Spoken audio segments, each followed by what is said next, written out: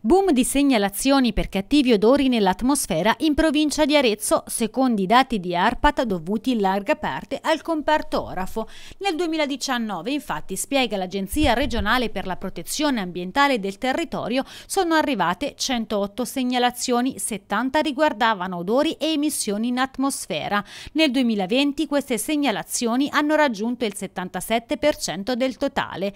L'inquinamento d'origine è causato dalla presenza nell'aria di sostanze percepibili dall'olfatto in concentrazioni molto basse, spesso infatti di gran lunga inferiori alla loro soglia di tossicità. È proprio per quest'ultimo motivo che fino a pochi anni fa il problema era stato sottovalutato. L'inquinamento atmosferico, comunque con o senza presenza di odore, risulta senza dubbio il motivo prevalente delle segnalazioni dei cittadini in tutta la Toscana e il territorio aretino non fa eccezione. Secondo ARPAT, le principali e più probabili fonti di emissioni patrimonio d'origine nella provincia di Arezzo sono imputabili ad attività orafe e galvaniche, comprese quelle per il recupero dei metalli preziosi delle lavorazioni orafe e incenerimento rifiuti presenti soprattutto nel territorio aretino, zona Sanzeno, Pescaiola e Ripa dell'Olmo e nei comuni limitrofi Laterina, Ponticino, Civitella in Valdichiana e Capolona.